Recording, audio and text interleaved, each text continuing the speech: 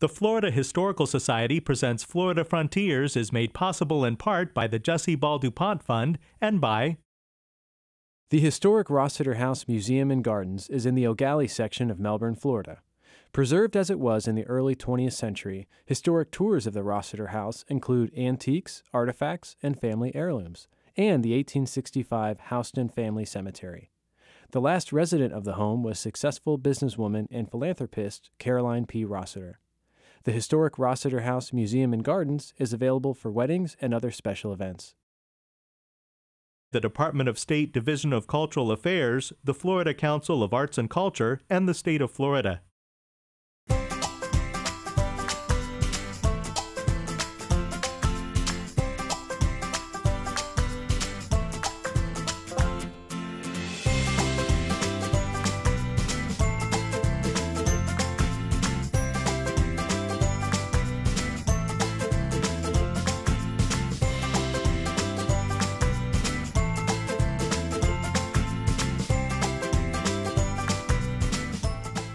Established in 1856, the Florida Historical Society is the oldest existing cultural organization in the state, and the annual meeting has evolved over time.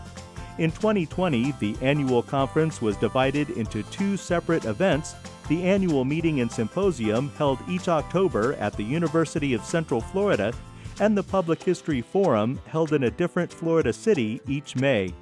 In the early years of the COVID pandemic, both conferences were presented as virtual or hybrid events. The first in person Florida Historical Society Public History Forum was held in Gainesville in 2022 in conjunction with the 33rd Annual Marjorie Kinnan Rawlings Society Conference. Welcome to Florida Frontiers, presented by the Florida Historical Society. I'm Ben Brotemarkle. Marjorie Kinnan Rawlings was an active member of the Florida Historical Society. She gave a presentation called Use of Florida Materials by Creative Writers at our 1938 annual meeting. The personally inscribed copies of her books Golden Apples, South Moon Under, and The Yearling that she gave to the Florida Historical Society are archived here at our Library of Florida History in Cocoa.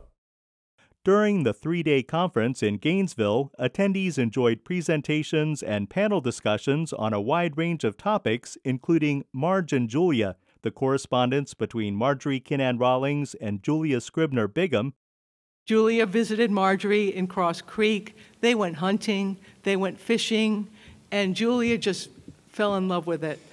And Marjorie, for her turn, found a young protege Ditch of Dreams, the Cross Florida Barge Canal and the Struggle for Florida's Future, Oral History, Genealogy, and Researching Underrepresented Populations, Florida Literature, Historical Perspectives in Fiction and Nonfiction, Writing good history and narrative history, particularly, requires just as much creativity as a novelist. Public History, Historic Preservation, and Building for the Future, the Association to Preserve the Eatonville Community and the Zora Neale Hurston Festival of the Arts and Humanities, Stetson Kennedy, Living a Life of Purpose, and more.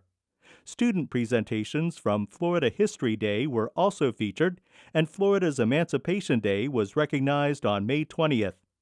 Attendees visited Marjorie Kinnan Rawlings Historic State Park and toured the writer's home where she wrote classic books including The Yearling and Cross Creek. They visited the George A. Smathers Library Archive and were able to see historic documents relating to Marjorie Kinnan Rawlings, Zora Neale Hurston, Stetson Kennedy, and others. The exhibit Florida Impressions, Gift of Samuel H. and Roberta T. Vickers, was on display at the Harn Museum of Art. Displays at the Florida Museum of Natural History brought our rich cultural heritage to life. Attendees enjoyed a picnic lunch at the Matheson History Museum, home of the 1867 Matheson House. Welcome to uh, our first in person conference in three years, the uh, 2022 Florida Historical Society Public History Forum, and the 33rd Annual Marjorie Kinnan Rawlings Society Conference. It is very exciting to have everyone here. The Florida Historical Society was founded in 1856 in St. Augustine, but we really kind of came of age uh, a century later here in Gainesville. Uh, it was in the 1950s and into the 1960s that the Florida Historical Society was headquartered here at the University of Florida. And a lot of the things that make us the organization that we are today happened here. You know, a, a lot of uh, familiar names like Rembert Patrick and uh, Samuel Proctor, names that are familiar to those even today who study Florida history, were part of the team that uh, brought the Florida Historical Society here to Gainesville. And even after the Florida Historical Society moved its headquarters to the University of South Florida, our academic journal, the Florida Historical Quarterly, remained here in Gainesville until 1995 when it went to uh, the University of Central Florida. But during that period, it really became a well-respected academic journal and the publication that you still enjoy today, of course. And it's in its 100th issue right now. So we're in volume 100 of the Florida Historical Quarterly.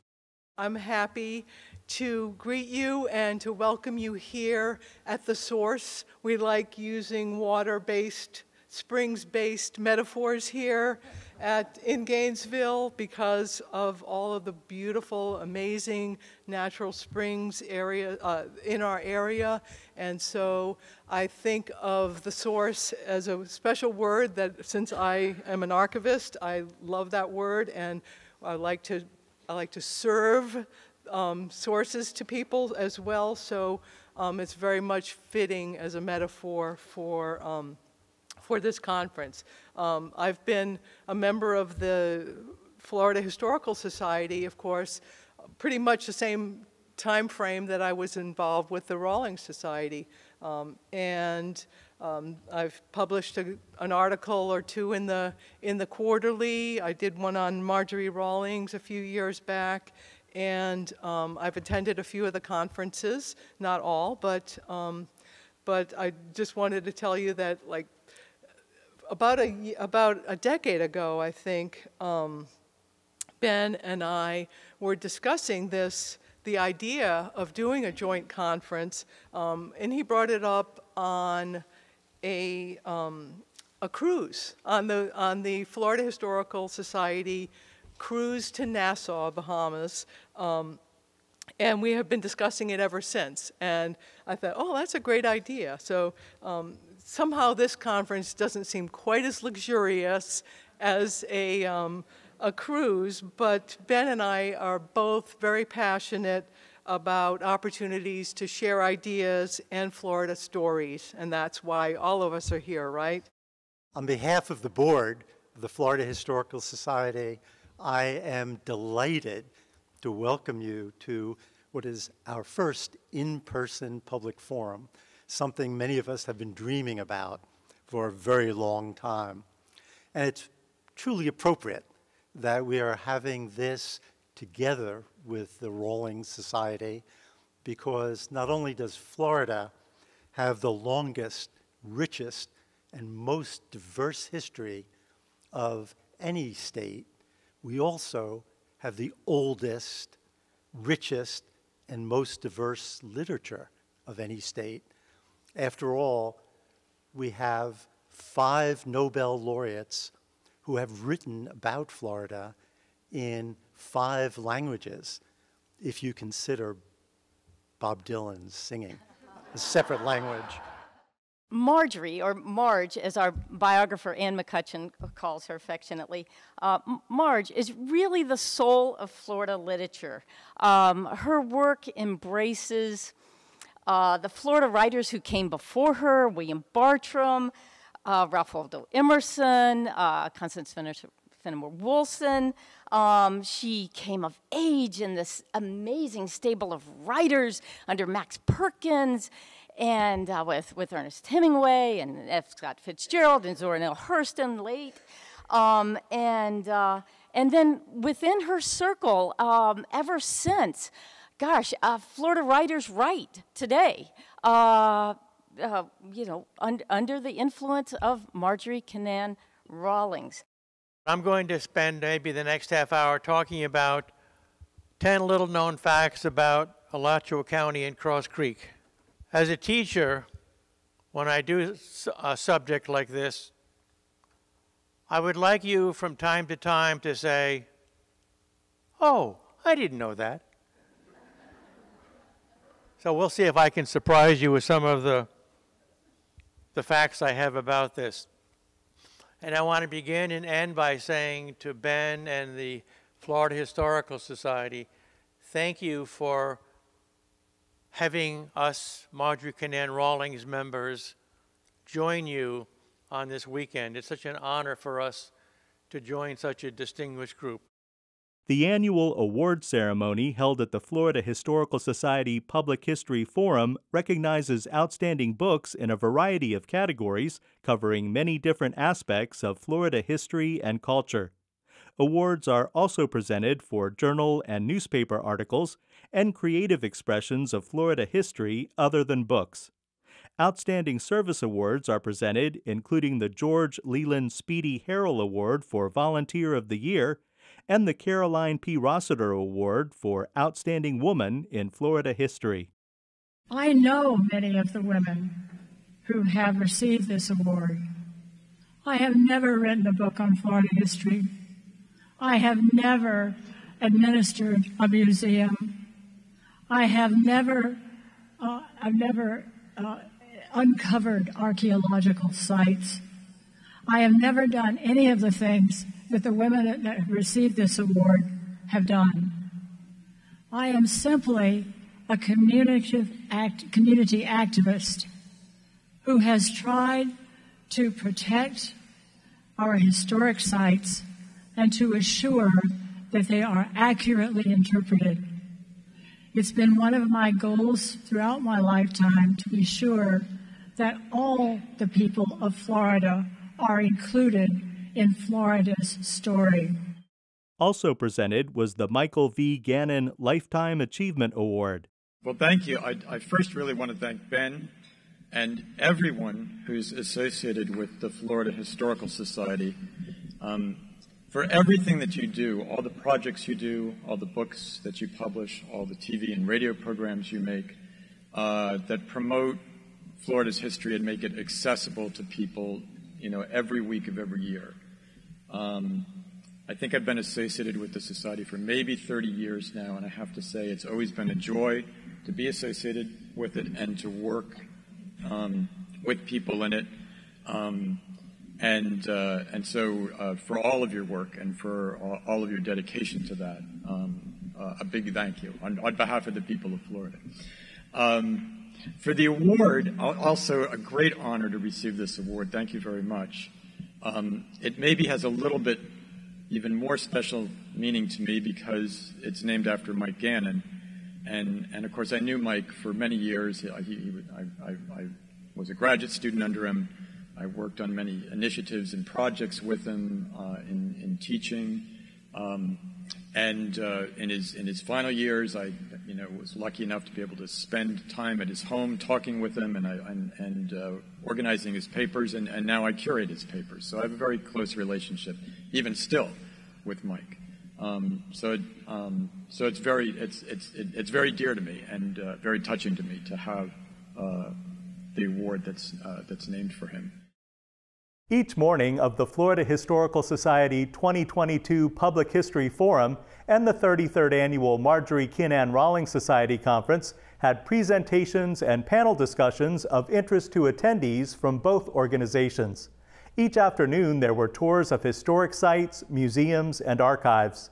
The evenings featured performing arts presentations with a tie to Florida history and culture and guest speakers. I first heard about Marjorie Kinnan Rawlings from my fourth grade teacher at McNabb Elementary School in Pompano Beach, Florida. It was early spring, and Mrs. Chapman, a Florida native, decided it was a good time to share Rawlings' best known novel, The Yearling, with 29 year olds. Every day after lunch, for weeks, she read aloud a few pages, inviting the class to listen for the author's beautiful sentences and the backwoods Florida world they brought to life. All of us, northern transplants whose families had been lured to the state by the post war boom, were entranced by the story, delivered during that delicious drowsiness following milk and sandwiches by an old timer whose voice was as soft and suggestive as distant radio waves. The yearling was our first impression of Old Florida, the people's speech and traditions. And Mrs. Chapman's reading seemed a private thing, a gift from her to us. We didn't know that the book, a coming of age story about a boy, his pet deer, and his parents, uh, who formed the North Central Florida Scrub, had been the best selling novel of 1938, nor did we know the book had won the Pulitzer Prize and been translated into 29 languages, or that Metro Goldwyn Mayer had made a popular film of it starring Gregory Peck and Jane Wyman. All of this before we were born. By the time Mrs. Chapman read it to us, The Yearling had come to be thought of as a children's book because it centered on a young boy. It was a staple of the elementary school story hour. I loved The Yearling as one loves a fairy tale or a dream, and Mrs. Chapman's reading became one of my fondest memories much later, I read the novel by myself, silently, admiring it as magnificent storytelling, as literature. The novel's lyricism, its fine rendering of country life, its use of local dialect, its structure and emotional range revealed Rawlings the artist, and I wanted to know how she, born in 1896, had become one. At the historic Hippodrome State Theater, conference attendees watched a screening of the new opera The Secret River, based on a short story by Marjorie Kinnan Rawlings, performed by Opera Orlando. There's opera being written all the time, and there's opera that can be written about our lives, our stories, because uh, that's what opera really is it's our shared humanity. So Stella and I just got to talking about, hey, we should do a new opera. you know, it was very ambitious for a young company to commission something. Um, but I happen to also be friends with Mark Campbell, who's a Pulitzer Prize winning librettist, opera librettist. I teamed uh, Stella and Mark up. They were willing to work with each other. They, they really hit it off, and we said we want to find a Florida story. And it was really Stella that found this story. So I'll let her share that part of it. That's okay. Yeah, yeah. sure. Thank you, Gabe. Um, so yeah, we uh, Mark and I were thinking about what story, and we were running it by Gabe and the team, and like, oh, should be maybe Ponce de Leon or Disney or you know all kinds of whatever the Florida, Space, the Space Coast, yeah. all kinds of things, and um, just all weren't quite fitting right. And and then uh, one day, a friend of mine, I was talking to her on the phone, and she said, oh, I just bought this book by Marjorie Kinnan Rawlings called The Secret River. It's a children's book, and um, and maybe that would be interesting. So we went out, we bought the book, we all fell in love with it uh, and said, This is it. This is going to be our, our new opera. And um, growing up in Gainesville, uh, I went to PK Yonge um, High School, or actually from kindergarten through high school. And uh, we went to the Rawlings um, home, homestead, um, all the time. It was kind of our field trip. and uh, so I was familiar with, with Rawlings, of course, and, but I had never run across this book particularly. And um, and so we just uh, we loved it. And Mark Mark uh, said, "I'm going to go ahead and start writing libretto," and he crafted a beautiful libretto. Um, I couldn't have asked for a better collaborator and um, and a beautiful uh, writer, and understood understood the story, kept the simplicity, and yet there was a complexity underneath.